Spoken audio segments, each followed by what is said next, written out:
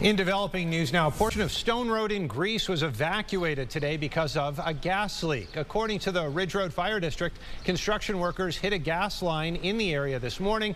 Residents were told to shelter in place as crews closed the area and began evacuations. RG&E was called in to the scene to shut off the gas. Firefighters say no one was hurt and the incident was under control within an hour.